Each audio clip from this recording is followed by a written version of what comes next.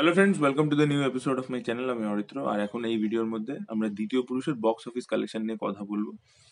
তো এগারো দিন হয়েছে সিনেমাটা রিলিজ করেছে এবং এটা একদম অফিসিয়াল নিউজ এবং বুক মাই শো এর ডেটা এবং বুক মাই শো মানে যেখানে যেখানে বুক মাই শোতে যে যে মাল্টিপ্লেক্সে টিকিট বুকিং করা যায়, যে যে সিঙ্গেল স্ক্রিনে টিকিট বুক করা যায়, আপনারা জানেন এখন মোস্ট অফ দ্য সিঙ্গেল স্ক্রিনে বুক মাই শো এর থ্রু দিয়ে বুক করা যায়।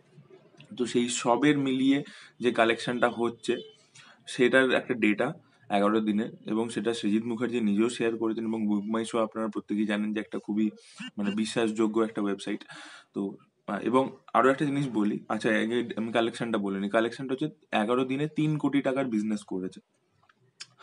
মাল্টিপ্লেক্স এবং সিঙ্গেল স্ক্রিন যেগুলো বুক মাই শো এর সাথে অ্যাসোসিয়েটেড সেখানে। এবার বলে রাখি অ্যাকচুয়ালি বিজনেসটা তিন কোটির বেশি।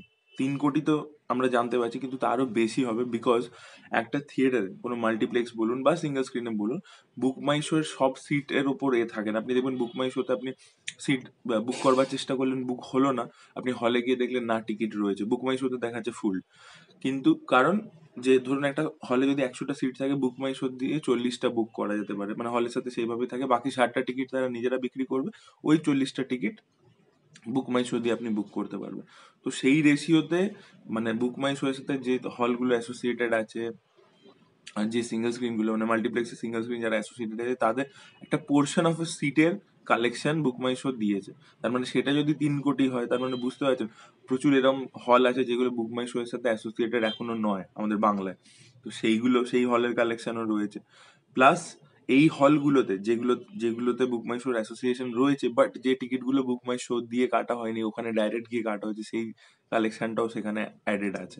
তো তিন কোটির বেশিই হবে বাট তিন কোটিও যদি আমরা ধরি, এগারো দিন একটা বক্স অফিস কালেকশন বাংলা সিনেমার ক্ষেত্রে দারুণ।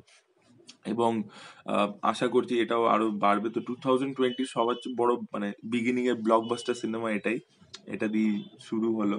তো এবং অসুরও মানে ভালোই বক্স অফিস কালেকশন করেছিল। আমার যতদূর মানে আমি শুনেছি। আমি এক্স্যাক্ট জানি না।